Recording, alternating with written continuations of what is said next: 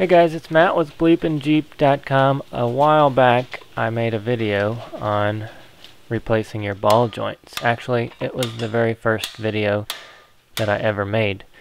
Um, in that video I started out with the ball joints and I didn't show how to remove the knuckle. So in this video I'm going to show you how to remove the knuckle. The first thing you want to do is remove your axle shaft and brakes. I've got a video on that if you're interested, so check that out.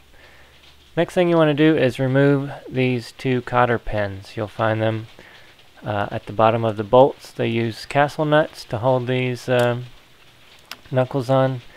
I like to use pliers to pull the cotter pins out just like that. Now do the same thing on the bottom. Next thing we're going to do is just remove the, the castle nut on top and bottom.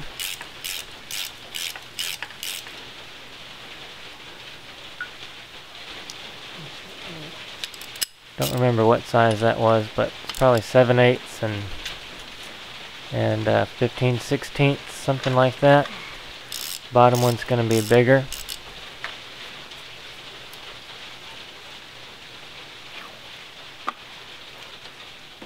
Okay, so the next step is to just beat it off. You want to get a big sledgehammer, or not a sledgehammer, but like a, a hand sledge, and you're going to pound on it right in that spot right there. You can see where it's flat.